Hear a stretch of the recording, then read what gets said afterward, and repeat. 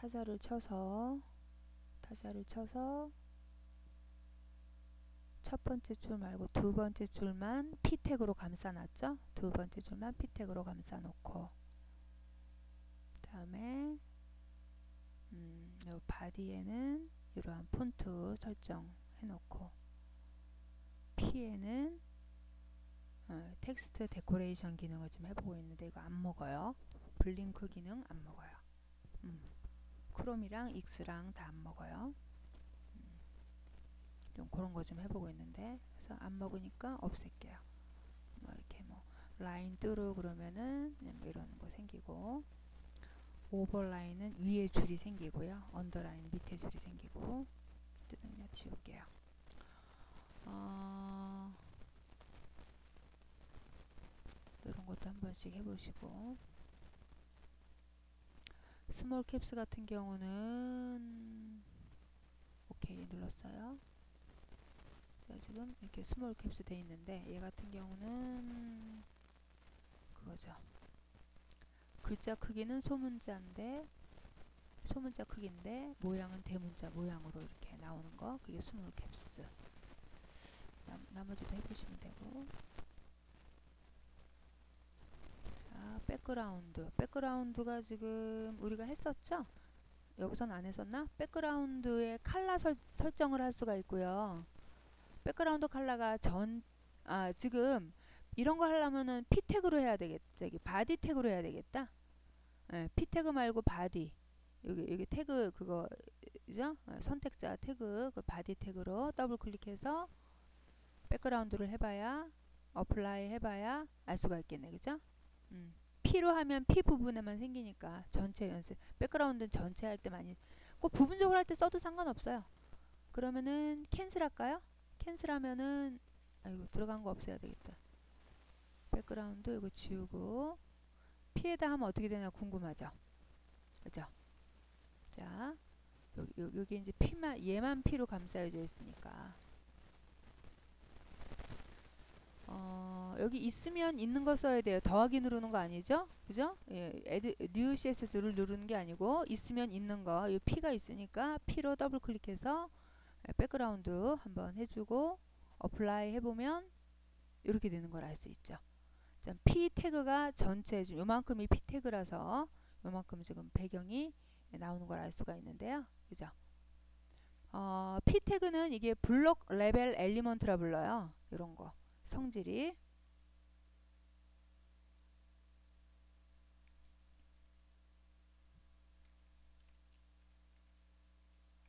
block level element block level element block level element라고 불러요. 블록이니까 우리가 그 그거 생각하면 돼. 벽돌 같은 거 생각하면 돼. 벽돌. 어? 벽돌이라고 이렇게 상상을 하면 돼요. 예, 자기 구역이 딱 있다 이런 의미예요. 블록이. 예, 자기 구역이 정해져 자 요만큼이 나, 나의 구역이다 이런 거예요. 에, element마다 자기 구역이 없는 것도 있고 막 그래요. 그러니까 자기 구역이 없으면 어, 없으면 어떻게 되냐면요. 여기에 색깔이 안 들어가겠죠. 그죠? 여기에 색깔이 안 들어가고 글자 있는 부분에만 배경색이 들어가겠죠. 지금 background니까. 그러면은 그거는 inline level element라 불러요. 근데 얘 같은 경우는 block level element라 이만큼 P 태그가 이만큼 돼요. 음, 물론 이것도 이제 width가 width가 지금 100%돼 있어서 그러거든. 이걸 약간 줄여주면 되긴 돼요. 근데 기본적으로는 100%로 서, P 태그가 block level element는 width 값을 기본적으로 100%로 가지고 있거든요. 퍼센트로 칠 적에 물론 수정하실 수는 있고요. 그게 block level element다. 음, 이거를 지우고 이것도 마찬가지로요. 예를 들면 CC3으로 돼 있다면 CC CC33 주, 준말이죠. 원래 6개거든요.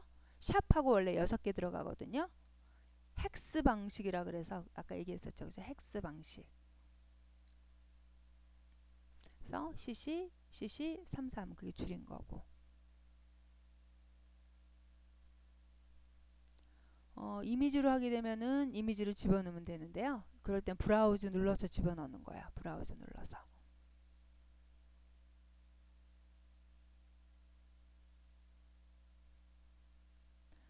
어, background repeat 같은 경우는 이제 예, 배경이 들어가 있고 해야지 나오는 건데 음.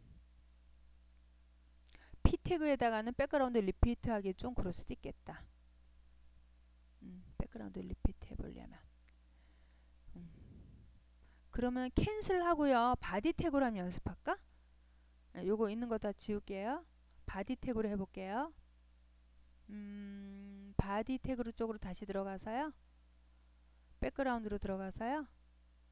어, 이미지 한번 아무거나 눌러볼까 우리? 예? browse 눌러서 이미지에서 파트 1에 있는 이미지에서 bullet 1로 해볼까? bullet 1 오케이 하면 apply 하면 이렇게 들어오죠. 그죠? 그죠? 음. 수영씨도 해보지.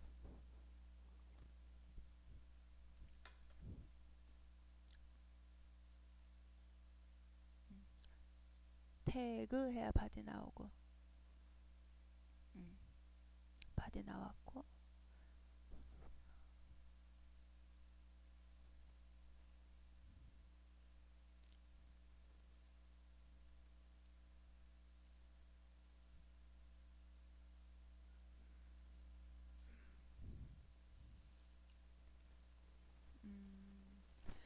이 백그라운드 리피트 기능 알아보려고 하는데 기본적으로는요.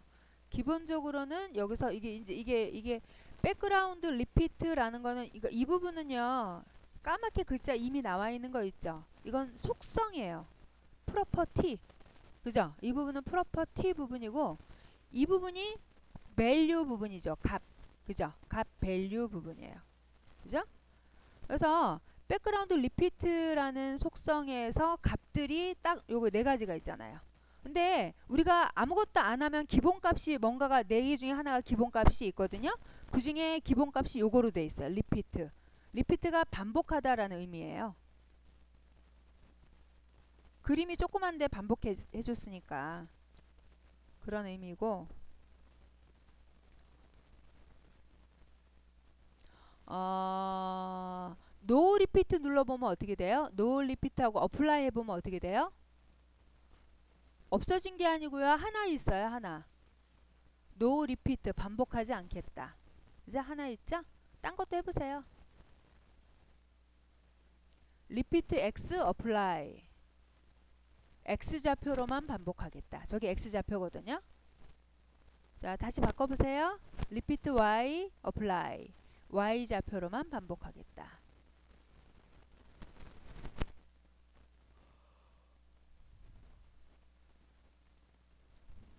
수영씨 밑에 apply 눌러봐야 나옵니다. 응, 잘하고 있네. 네, 좋아요.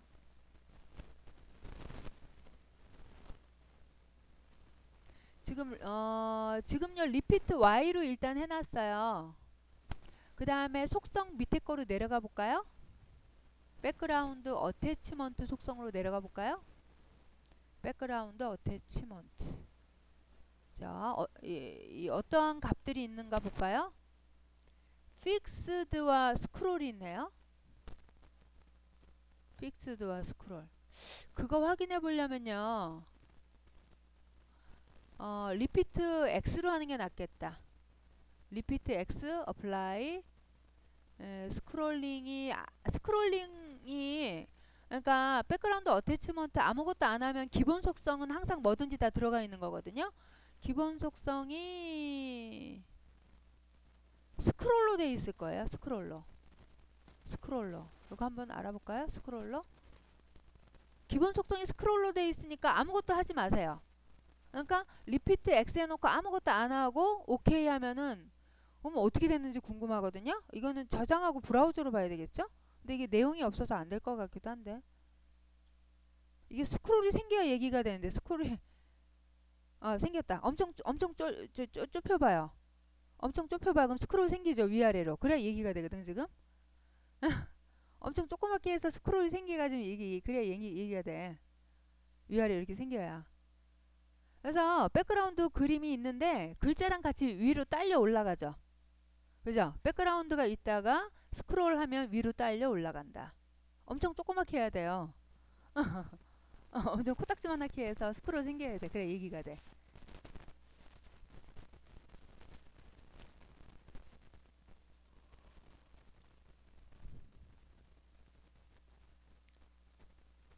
이거 글자가 많거나 그림이 많으면 얘기가 되는데 디자인이 없으니까 지금 어쩔 수 없이 이렇게 하고 연습해야 돼.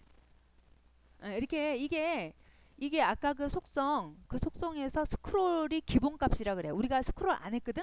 아까 그 그냥 안 했거든. 다시 들어가 볼까요? body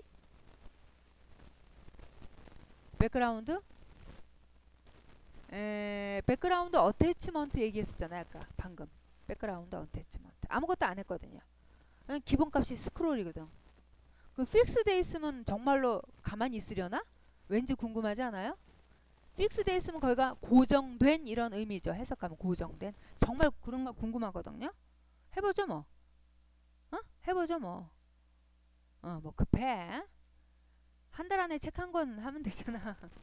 뭐 급해. 오케이? 오케이 해서 여기서는 봐봤다 안 돼. 저장을 해야 돼 저장 그래서요 어, 창이 조금 해야 돼 새로 고침 정말 가만히 있으려나? 왠지 궁금한데 오! 오! 오! 가만히 있어요 그죠? 가만히 있죠 그러니까 아까 그게 무슨 속성이었어?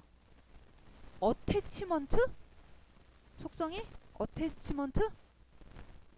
맞죠? 어, attachment attachment background attachment 속성이다. 예, 이렇게 글 이렇게 이렇게 스크롤할 때 딸려 올라가지 않으려면 fixed 하면 된다.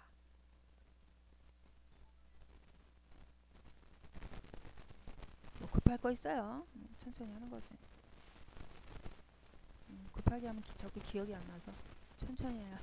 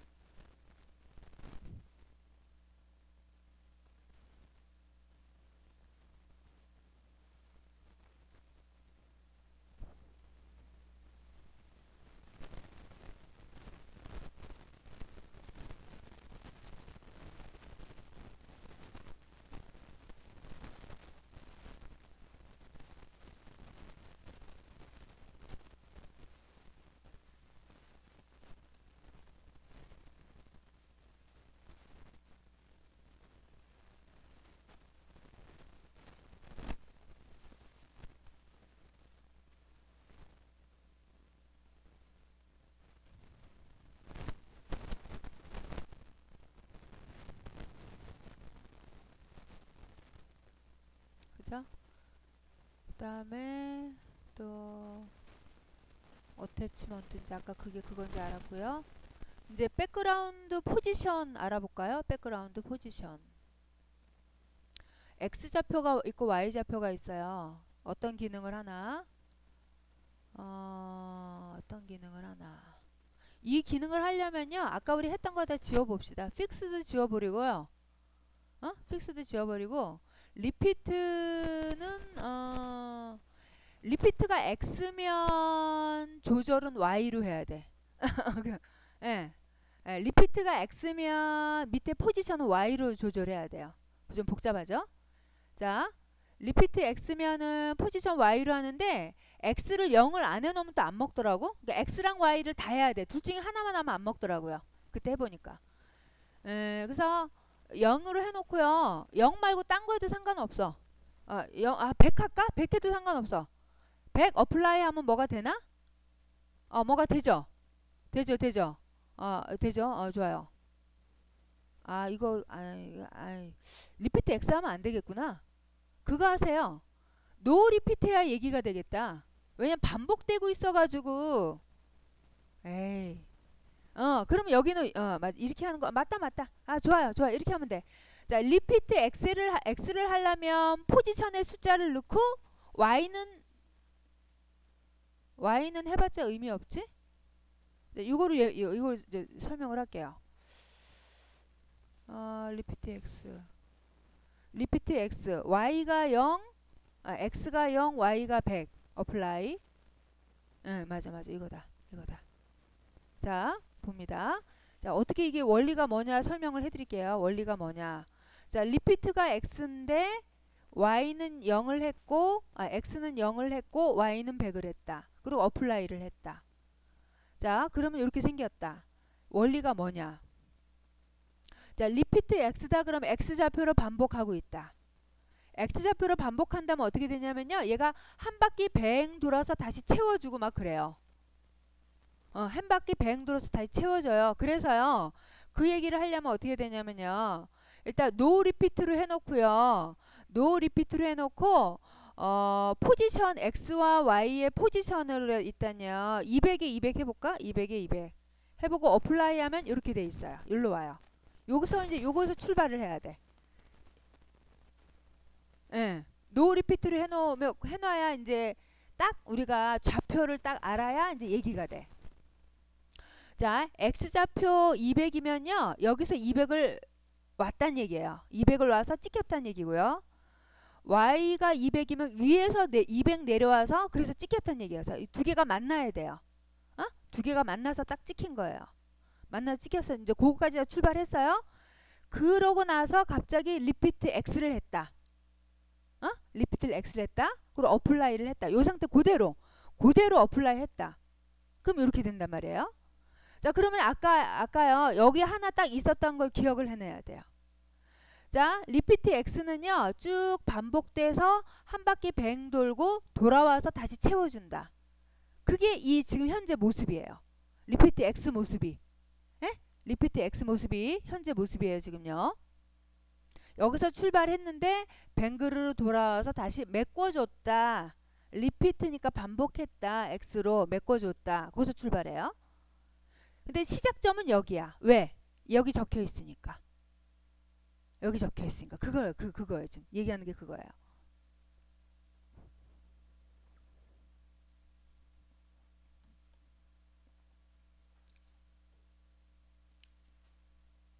자, repeat y로 바꿔 볼게요. repeat y. repeat y apply. 이렇게 돼요. 얘도요. 아까 200, 200 세팅해 놓은 데가 여기죠. 그걸 알아야 돼. 200, 200 세팅해 놓은 데서 repeat y니까 아래로 반복을 했단 말이에요. 근데 repeat면요. 반복이요. 여기도 채워줘요. 한 바퀴 뱅그르로 돌아서 또 채워줘요. 바, 여기서 또 끝나는 요 그림 있죠. 여러분 잘 봐요. 자기 그림. 끝나는 그림이 위에서 메꿔주고 있어요. 코딱지만 한데 잘 봐. 코딱지만 한데 잘 봐. 분명히 끊긴 게 위에 있어. 밑에 끊긴 게 위에 있어. 리피트거든. 리피트거든. Y로 리피트거든. 좌표는 아까 여러분이 세팅해놔서 거기서부터 출발해서 출발점이 거기란 얘기예요. 출발점이 거기란 얘기예요.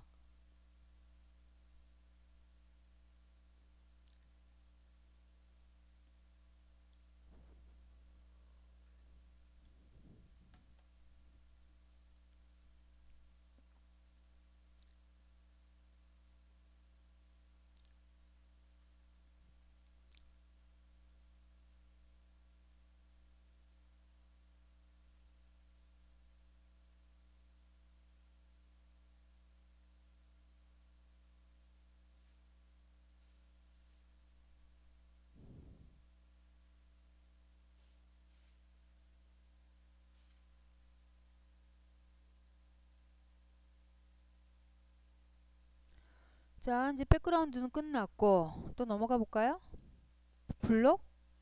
이제 블록은 요건 이해하기가 어려워요. 블록. 어쨌든 백그라운드 다 없애야 되겠다. 백그라운드도 없애고 할게 깔끔하게. 다 지울게요. 아예 숫자를 다 지워야 될걸? 오케이 해볼까요? 코드가 지저분한 게 있나 볼게요. 싹 지워버리면 값을 싹 지우면요 0 하지 말고 값을 싹 지우면요 완전 뻥 뚫려요. 그죠? 이 P도 아까 다 지웠더니 열고 닫아 버렸네 그냥? 아무것도 없어. 다 지웠거든요. 왜냐면 막 이렇게 기능이 섞여 있으면 헷갈릴 수 있거든. 딱 간단간단하게 하나씩 기능을 봐야 이해가 되지? 막 섞여 있으면 정신 사나워가지고.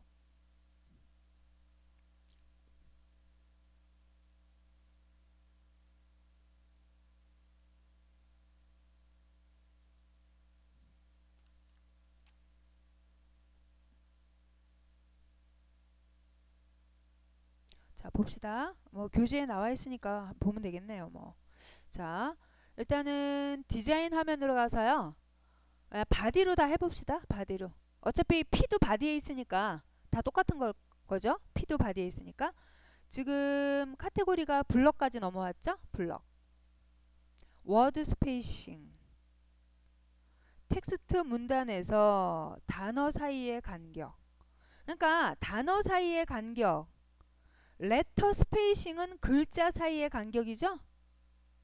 그래서 아까 우리 letter 기억나시죠? letter. 그죠? P first letter. 근데 P first word 하니까 안 먹더라고. 그죠? 그죠? 아까 P first word 해 봤더니 안 먹더라고. P first letter만 먹더라고.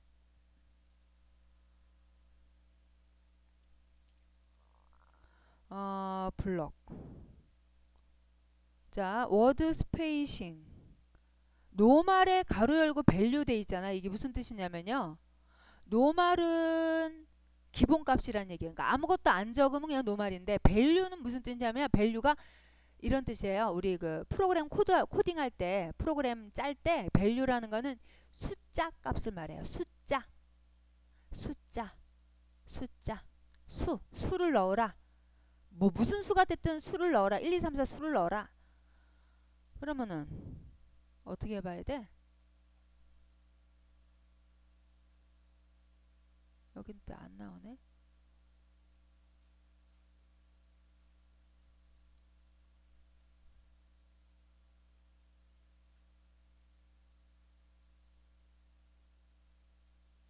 이거는 크롬으로 크롬으로 봐야 되려나? 아무 숫자나 적어서요. 크롬으로 봅시다.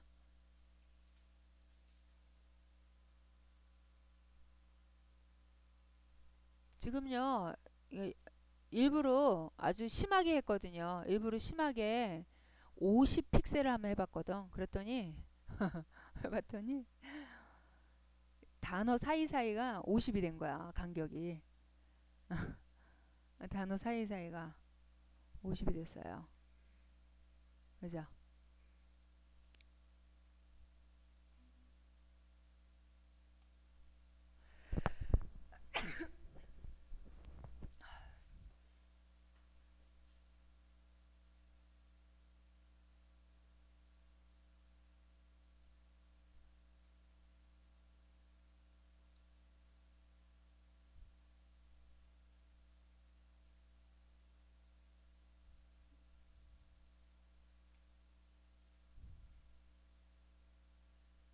또 우리가 그 EM이라고 배웠잖아요. 몇 퍼센트 뭐 이런 의미다. 3이면 3배다. 그래서 제가 일부러 word spacing을 현재 현재 비율 현재 있는 기준에서 3배 커져라.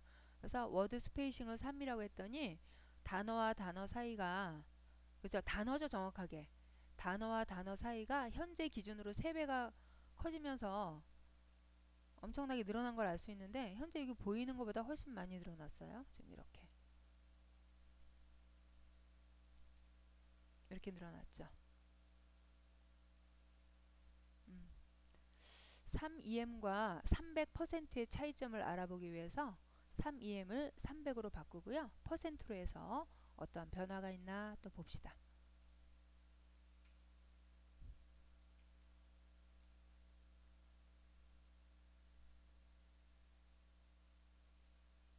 완전 다르네요.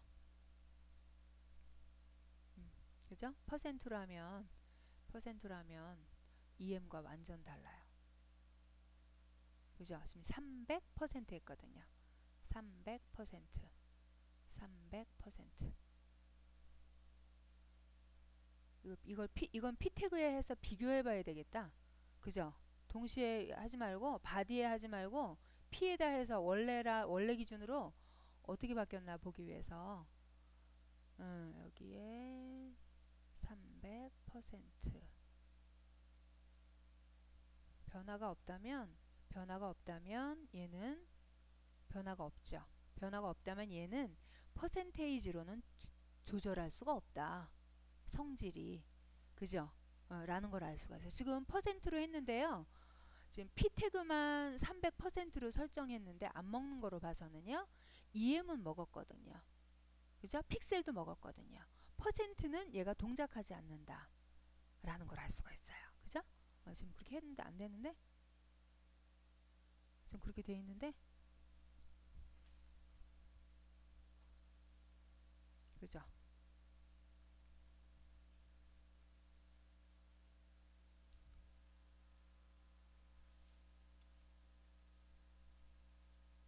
지금 1 EM으로 바꿨거든요. 1 EM으로 바꿨더니 이렇게 길어놨어요. 길어졌어요. 1 EM. 1 EM. 음? 지금 어떤 어, 기준이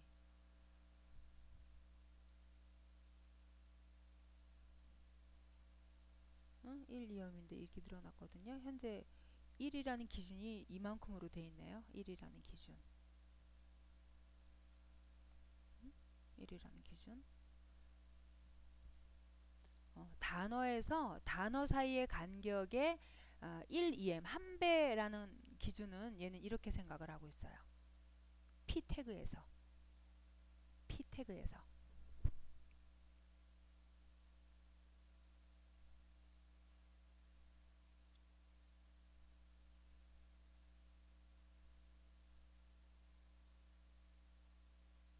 근데 이제 우리 흔히 진짜로 작업할 때는요. 진짜로 작업할 때는 이렇게 EM 단위, 단위는 안 쓰고요. 제가 업무적으로 쓸 때는 픽셀로 써봤어요. 픽셀로 다. 예, 픽셀로 써봤는데 EM 한번 해봤더니 많이 벌어지네요.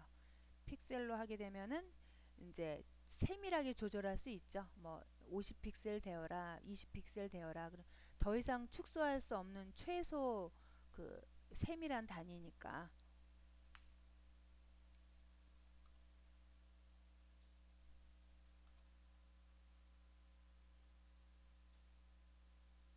픽셀보다 포인트가 약간 한 1.2배 정도 굵은 에, 덩치가 그만큼 큰 느낌이 들더라고요. 포인트가. 지금 픽셀로 한번 해봤어요. 20픽셀. 세밀하게 1픽셀, 2픽셀 세밀하게 조절할 수 있으니까 저는 이 방법 많이 썼거든요. 이 방법.